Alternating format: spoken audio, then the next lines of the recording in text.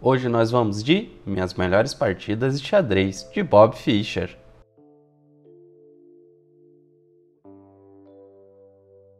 Olá, seja bem-vindo. Esse é o canal Felipe Xadrez e hoje nós vamos para mais uma partida do livro do Bob Fischer, Minhas Melhores Partidas de Xadrez. Essa aqui é a 24ª partida do livro. Ele está jogando contra o Klaus Victor Darga, um grande mestre muito forte, alemão ele, né? É, inclusive nessa época que aconteceu essa partida foi em 1960. A gente tinha ali a Alemanha Ocidental, né?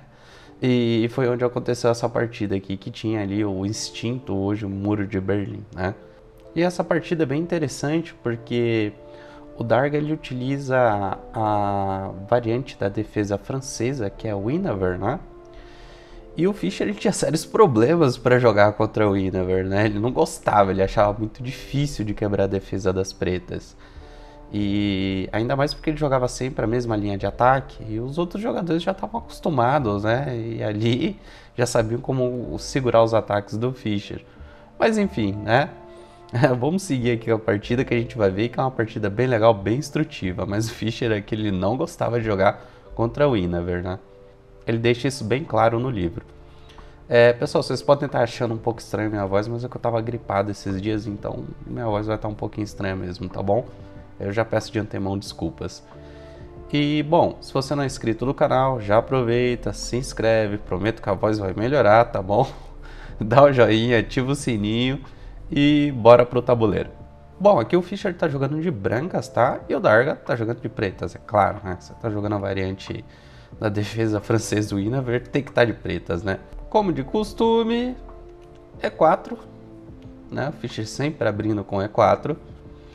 E6, D4 e D5. Cavalo C3, Bispo B4 e aqui a gente foi para a variante da defesa francesa, né? A variante Winaver. Fischer aqui já deve ter ficado já em pânico, né? Continuando, pessoal. E5, C5, A3, atacando o bispo. Bispo toma C3, cheque. B toma C3, cavalo E7, já preparando ali para dar o roque curto. A4, avançando o peão. Dama C7, cavalo F3, B6, bispo B5, cheque. Então, o avanço do peão ali foi para dar um apoio ao bispo, né, para ele não ficar solto. Bispo D7, protegendo aqui o rei. Bispo D3, Fischer recua o bispo. Cavalo de BC6, roque, Fischer coloca o rei em segurança. C4, aqui o Darga avança o peão aqui atacando o bispo. Bispo E2, então bispo recua. F6, e aqui o Darga né, já está fazendo um ataque aqui contra essa estrutura de peões aqui do Fischer, tentando detonar ainda mais, né, porque a gente já tem aqui dois peões dobrados. E a ideia aqui é tentar fazer algumas trocas, né? Atacar aqui o peão central que vai ficar fraco, enfim. Seguindo. Bispo A3. F toma E5. D toma E5. Cavalo toma E5. E aqui o Fischer tem a possibilidade né, de trocar os cavalos. Torre 1, ele não troca. Cavalo de 7 em C6. Então o Darga coloca uma defesa adicional nesse cavalo central. Cavalo toma E5. Agora sim, capturando o cavalo, né? A gente vai ter algumas trocas aqui no centro. Cavalo toma E5. F4, atacando o cavalo. Cavalo C6, ele recua, né? O cavalo está atacado. Bispo G4. Grande roque. Agora então o Darga coloca o rei dele em segurança. Bispo toma E6. Bispo toma E6. Torre toma E6. Então agora a gente teve algumas trocas aqui. É, o Fischer né, procurou essas trocas aqui provavelmente para expor o rei aqui do Darga, né? Que essa estrutura de peões aqui já não está das melhores, enfim. Seguindo, torre D7, F5, então fixando a torre, cavalo D8, atacando a torre, torre 3, está atacada, recua, dama F4, torre F3 atacando a dama, dama E4, A5, avançando o peão. Cavalo C6. A toma B6, A toma B6 e dama B1, né? Então aqui o Fischer deve ter ficado bastante feliz porque já conseguiu liberar aqui a coluna A, já trouxe a dama. Provavelmente vai iniciar um ataque aqui. Rei C7, então aqui o Darga já se adianta e tenta colocar o rei numa posição um pouco mais segura. Bispo C1, manobrando o bispo. Dama E1, cheque. Torre F1 atacando a dama. Dama toma C3. Bispo F4, cheque. Rei B7. Dama B5. E nessa posição o Darga abandona, pessoal. É, o Darga abandonou. Aqui não tem muito mais o que fazer, tá? Uma possível continuação, tá? Por exemplo, aqui só para ilustrar, daria para seguir, por exemplo, com Dama D4 cheque, né? Um esperneio aqui. Depois de rei H1 acabaram-se os cheques, não vai ter mais cheques. E aí tem que seguir com dama toma F4. Isso mesmo, tem que trocar a dama pelo bispo, tá? Então aqui viria a torre toma F4. Por quê? Né? Aqui a gente já vê que não tem uma continuação muito boa, porque são duas torres por duas torres e uma dama por um cavalo, né? Uma dama por um cavalo é muita coisa a mais. Ainda mais com o rei exposto aqui do Darga. É, por que, que tem que entregar a dama? Voltando, porque se não entregar a dama, se por exemplo fizer qualquer outro lance, aqui talvez o mais recomendado fosse fazer aqui torre em A8, por exemplo, para trocar as torres, né? Ver se consegue aliviar um pouco mais a posição. Tá sofrendo um ataque, troca a peça, né? Uh, daria para seguir com torre toma 8, depois de rei toma 8, dama toma C6, cheque torre B8 cobrindo, dama E8 cheque, rei A7 e depois de dama A4 seria mate, tá? Que não tem para onde correr. Perdão, não tem para onde correr. Esse bispo aqui, ó, tá fazendo toda a diferença, tá? Então por isso que o ideal seria trocar a dama por esse bispo aqui para não tomar mate. Então, de qualquer jeito, aqui não tinha muito para onde correr, né? O Darga acabou deixando a vitória escapar ali entre os dedos, né? mesmo jogando uma variante que o Fischer tinha dificuldades de jogar contra, né? Agora vamos dar uma olhadinha no gráfico para vocês verem que apesar do Fischer ter dificuldades de jogar contra o Inaver, ele aqui se saiu muito bem, foi muito bem sucedido. Bom, a primeira coisa que eu queria aqui né, ressaltar é isso, né? A precisão do Fischer. Com toda a dificuldade deles, problemas para jogar contra o Inaver, né? Defesa francesa, a precisão dele ficou em 94.6. Né? Muita coisa, né, pessoal? Somente quando você está jogando numa situação desconfortável, né? Que você não gosta de jogar contra algum tipo de defesa ou de abertura, né? E no caso aqui ele foi muito bem sucedido. Bom, a precisão do Darga também não ficou lá, aquelas coisas, né? Mas também tá ruim, 85.7, uma precisão muito boa. E o engraçado é que se a gente olhar o gráfico aqui, ele em nenhum momento o Fischer ficou mal, né? Teve um momento aqui que o Darga cometeu um erro, o Fischer ficou aqui com uma vantagem legal de quase 3 pontos, mas aí o Fischer erra e perde essa vantagem, né? Aí depois com o decorrer do jogo, Darga cometeu algumas imprecisões aqui onde Fischer foi ganhando mais vantagem, até o ponto que ele cometeu um erro que foi a gota d'água ali, a vaca foi pro brejo, né? É, e eu queria pontuar, né? Tanto esse erro do Darga e o erro do Fischer, quanto esse erro final aqui que acabou deixando com que o Fischer arrematasse a partida e levasse a vitória, tá bom? Então, vamos dar uma olhadinha no tabuleiro?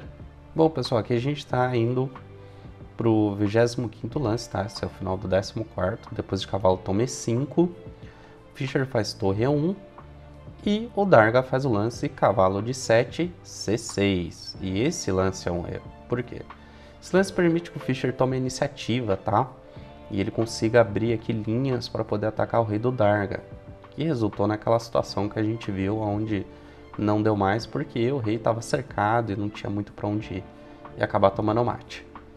Enfim, qual seria o melhor lance aqui para o Darga? Ao invés de fazer cavalo de 7 C6, voltando aqui, o melhor seria fazer cavalo de 5 C6, tá? parece brincadeira, mas o lance correto é esse aqui. Esse lance sim, manter a posição mais equilibrada. Por quê? Uma possível continuação seria, por exemplo, cavalo G5, tá? É, levando peças para o ataque, já que o rei não rocou ainda. Agora sim, roque. E aí, olha que legal essa torre aqui nessa coluna semi-aberta. Então, é, seria interessante, né? Manter aqui uma, uma torre muito bem colocada. E depois de, por exemplo, apesar, claro, né? Pô, Felipe, mas tem um cavalo aqui em G5, um cavalo avançado, perigoso. Sim, mas a posição é equilibrada, tá? Depois de, por exemplo, o bispo G4 aqui, viria a torre F6, um lance importante, você já vai ver por quê. A gente vai ter uma série de trocas, né? Então, depois de bispo toma E7, cavalo toma E7, bispo toma E6 cheque, bispo toma E6, cavalo toma E6 e dama D7. A gente tem uma posição equilibrada, tá? Agora vamos ver o erro do Fischer, né? Ele estava com a vantagem e deixou a vantagem escapar, né? Perdeu um pouco de vantagem. Vamos voltar lá na posição. Bom, então depois de cavalo C7, oh, perdão, cavalo de 7 C6, o Fischer continuou com cavalo tome 5, cavalo tome 5, eram os melhores lances na posição mesmo. E o Fischer faz F4. Parece um lance lógico, né? Só fala, pô, legal, tá atacando o cavalo, vai fazer ele recuar, tira o bispo aqui, pode subir com a torre, esse peão vai dar apoio. Mas não seria o melhor lance na posição, pessoal, por incrível que pareça. Deixa eu voltar aqui. O melhor lance aqui é, é coisa de detalhe, né? Mas, mas seria o melhor. Seria bispo H5 cheque, tá? Então aqui atacando o rei forçando né, ele a se movimentar ali, pelo menos para ganhar um pouco mais de tempo aqui ou forçar as pretas a perderem o rock. É claro que nada está perdido. A melhor continuação para as pretas aqui seria, por exemplo, G6, tá? Cobrir de cavalo não vai adiantar muita coisa. Então, melhor seria um G6 aqui, atacando o próprio bispo. Claro, brancas continuariam com dama D4, né? Cravando aqui o cavalo, botando uma pressão nessa torre. Talvez fazer um espeto aqui no rei. Depois de grande rock, agora não tem mais para onde correr, tem que ser um grande rock.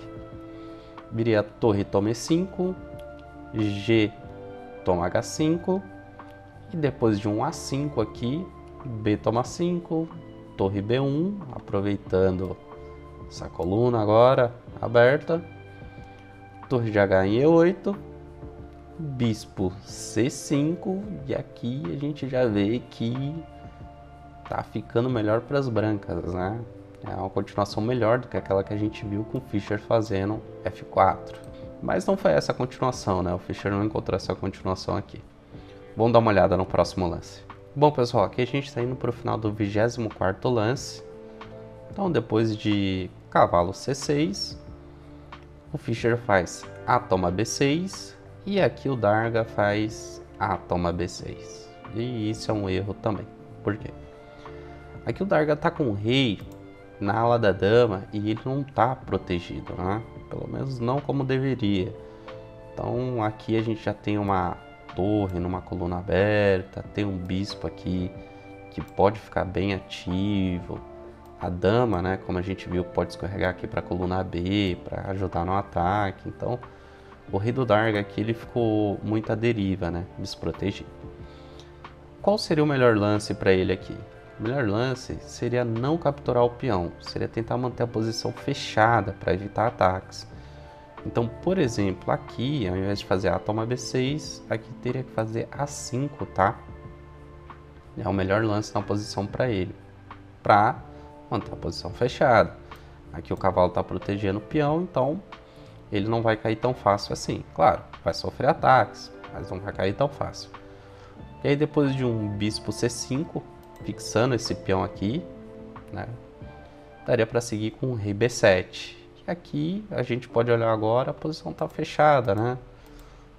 Tá essa saladinha aqui, uma posição bem complexa, não é tão fácil assim de, de dar continuidade.